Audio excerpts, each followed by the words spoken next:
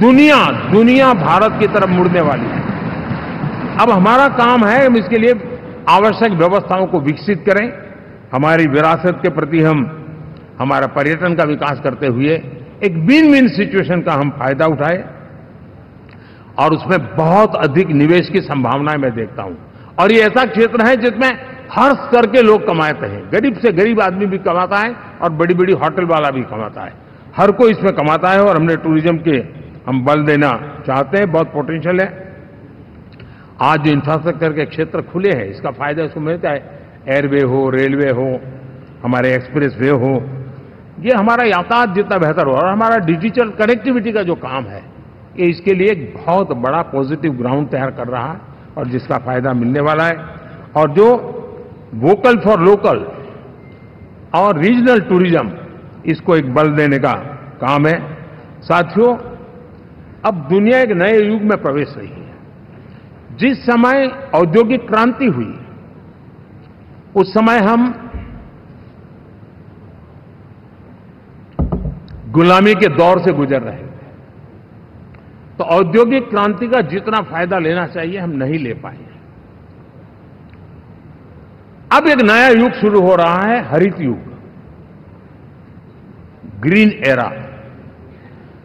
भारत के पास बहुत संभावनाएँ हैं, इसका नेतृत्व करने की। और हम इसके लिए आने वाले दिनों में ग्रीन हाइड्रोजन की बात हो ग्रीन एनर्जी हो, या ग्रीन जॉब्स हो, या ग्रीन मोबिलिटी हो, इन सारे विषयों को हम इतनी तेज़ी से आगे बढ़ाना चाहते हैं, ताकि इस हरित युग का नेतृत्व दुनिया में भारत का सामर्थ्य सिद्ध कर दें, ये हम चाहते हैं।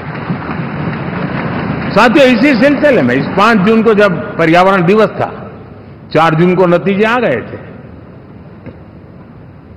तो उसी दिन मेरे मन में एक विचार आया कि कार्यक्रम पाँच जून को हमने आरंभ किया। एक पेड़ माँ के नाम। हर किसी को माँ के प्रति श्रद्धा होती है।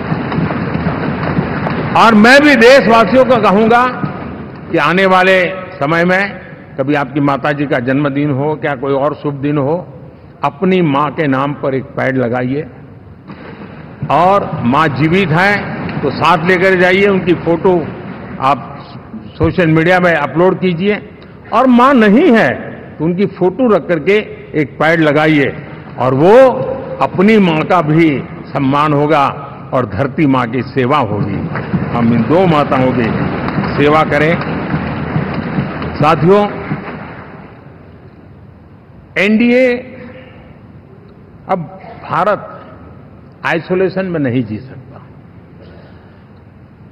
वैश्विक परिवेश में भारत की भूमिका दिनों दिन बहुत बढ़ती चली जा रही है।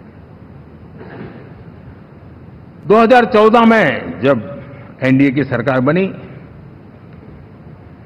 पूरे विश्व में उसी एक पल से ही एक नया जिज्ञासा पैदा हुई। थोड़ी आशा के संकेत उनको नज़र आने लगे। और फिर उस बदलाव बहुत बड़ा तेज़ी से आया। और पिछले दस वर्ष में भारत ने जिन कामों को बढ़ लिया है, आज भारत की छवि विश्व बंधु की बन चुकी है दोस्तों। विश्व हमें एक बंधु के रूप में स्वीकार कर रहा है। और जब दुनिया हमें विश्व बंधु के रूप में स्वीकारती है तो हमारी वैश्विक जिम्मेवारियों को भी हमने हमारे आने वाले रोड मैप में महत्व देना ही होगा। और भारत की सफल विदेश नीति ने अच्छे परिणाम भी दिए हैं। हमने हर संकट को उस प्रकार से हैंडल किया, जिस प्रकार से मानवीय मूल्यों को हमने प्राथमिकता दी, उसका परिणाम है कि सामान्य मानवीय के मन में ये विश्व बंधु वाला भाव बहुत मज़बूत हुआ और भारत का सेवा भाव का जो कैरेक्टर है, उसको विश्व ने पहचाना है। चाहे यूक्रेन का संकट हो, चाहे अफ़गानिस्तान का संकट हो, हर हमारे लोगों को बचाना हो, हमने किसी भी में हमने कोई कमी नहीं रखी है। और साथियों, ये क्षमता के कारण भारत में निवेश की संभावनाएँ बहुत बढ़ने वाली है। मैं राज्यों से भी कहूँगा कि आप प्रगतिशील नीतियाँ बनाकर रेडी रहिए। विश्व आज आपके आँगन पे दरवाजे पर दस्तक दे रहा है। और जो राज्य ज़्यादा स्पष्ट नीतियों के साथ आएगा, जो राज्य उन कंपनियाँ विदेश जाने वाले लोगों को ठीक से हैंडल करेगा, उसको बेनिफिट मिलने ही वाला है। और भारत ने जो नीतियाँ बनाई है, भारत ने जो वातावरण बनाया है, उसका लाभ भारत के हर राज्य को मिलना चाहिए और उस दिशा में हम तेज़ी से काम करना चाहते हैं। साथियों, हमने जी ट्वेंटी समिट में देखा है।